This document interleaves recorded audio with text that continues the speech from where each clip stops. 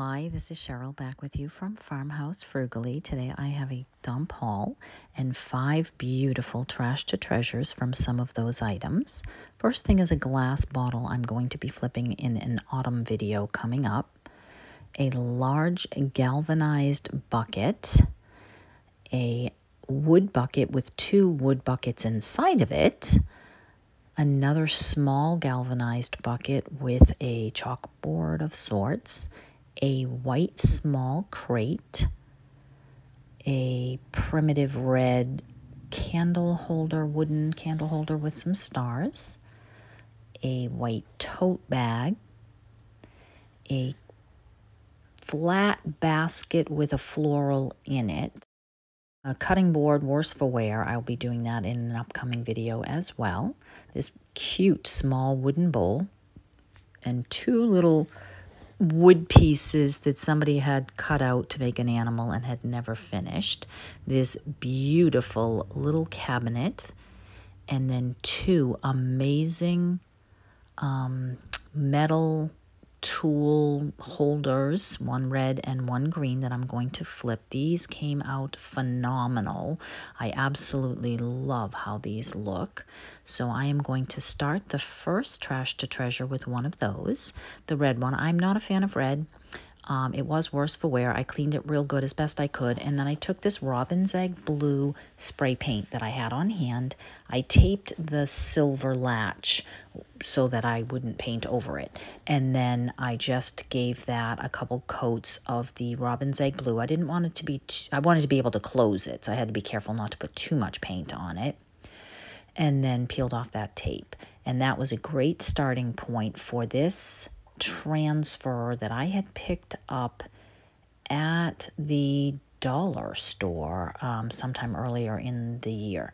And so I decided to take this and cut it in half and use bits and pieces of this. It already had a little bit of this pretty robin's egg blue color in it. So I played with several items that I had, not only on that transfer, but a couple different transfers to see which words or which florals or what have you that I would be using on this. And I decided to separate um, that wreath and even to cut some of the other pieces off of it so that it would fit that. So I transferred this first piece on and it has a white background. I wish that it didn't.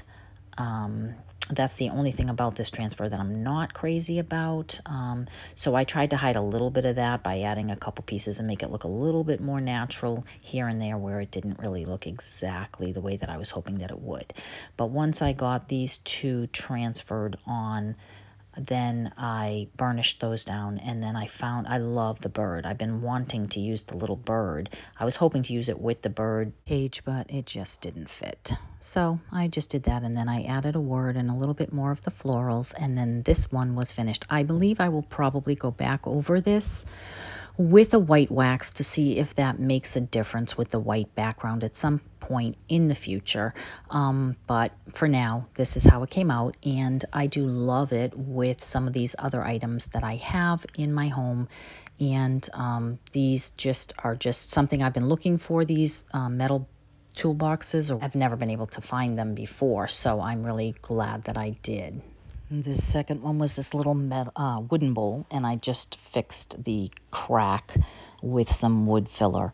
Once that was dry, I sanded that and I took out my vintage linen colored chalked paint and gave that two good coats all over this bowl. And now once that is dry, I decide that I'm going to give a similar look to that little, I'm going to say sheep it looks like a sheep to me. Could be a cow, I suppose.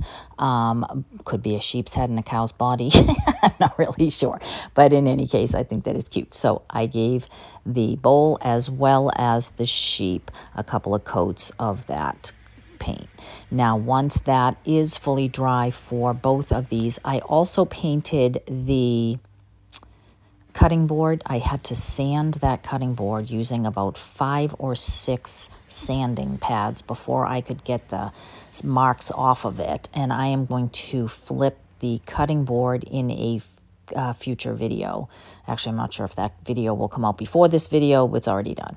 Once they are dry, I take them down to my garage and pull out my orbital sander and then give them all a good sanding. And then once those are uh, wiped away. I just take on these two pieces my antiquing wax mixed with clear wax to just bring out the wood pieces. And then that just darkens up and rich, enrichens the uh, paint and makes it look a little bit more vintage which is just the feel I like. If you don't like that you can obviously just do a clear wax or skip that step altogether. I especially liked it on the sheep. So I think that gives it a good dimension and then I just took my glue gun it happened to have fabric glue in it, but I don't think that's going to be a big deal since this is just going to sit on a shelf somewhere. And then I just attached the face to the body, um, leaving, I, I should have left the little piece of the body unpainted, but I, again, I don't think it's going to matter much for this particular piece. So here it is on my mantle, very sweet. And then um, I just, I had already had a couple of little sheep decor pieces in my home, so I decided to just display it next to that.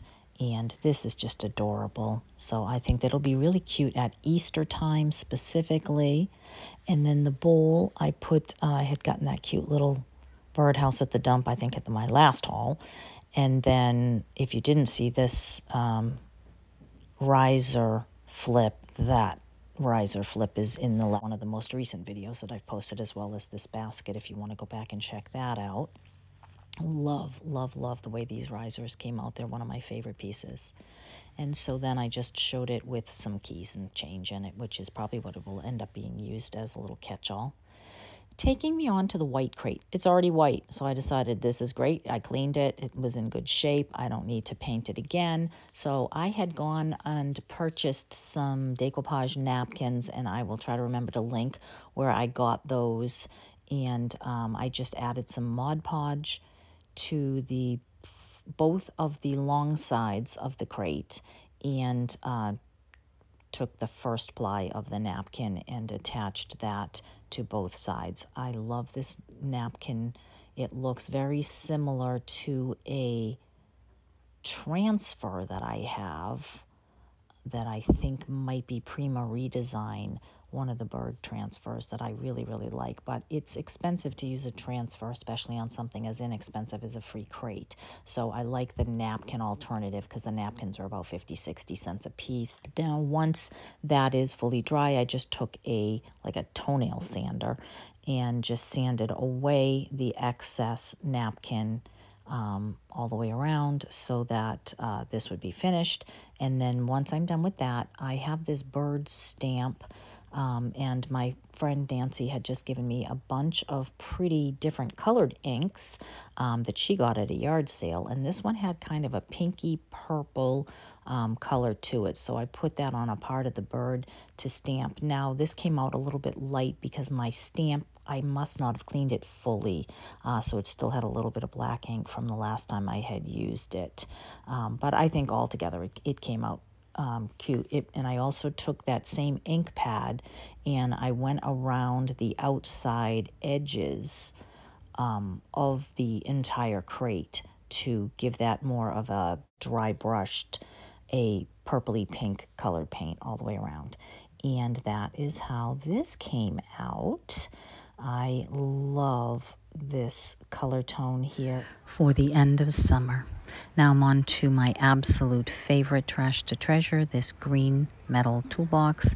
Needed a real good scrubbing. I wanted to keep the green color that I had uh, on it um, instead of painting it.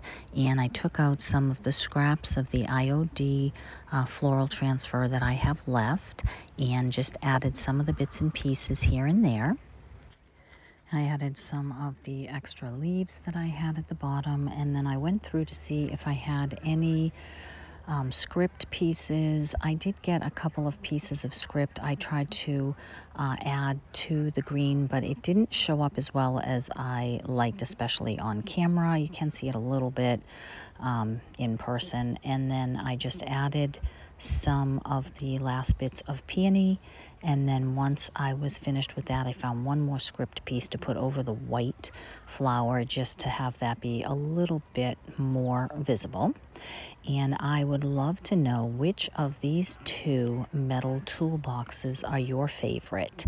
The robin's egg blue or this green. Um, this one is absolutely my favorite. I'm going to keep this one. I will sell the other one in my upcoming um, sale, but um, I'm not sure what I'm going to do with this. I think it matches my craft room well enough that I might be able to do to maybe put my paintbrushes or something in there. Let me know what you think of that. And which of today's projects is your favorite? Thank you so much for stopping by. I will see you in the next one. Make sure you hit subscribe. Take care. Bye bye.